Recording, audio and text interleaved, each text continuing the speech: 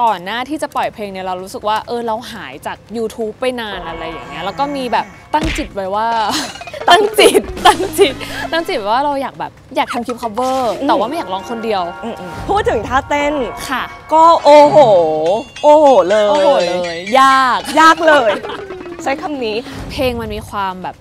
ท่อนฮุกมันวนๆ ง่าย ๆ อะไรอย่างเงี้ยแล้วก็เราอยากได้ท่าที่มันสะท้อนถึงความ ซ่า ความกวน ความตะตะแลนิดนึง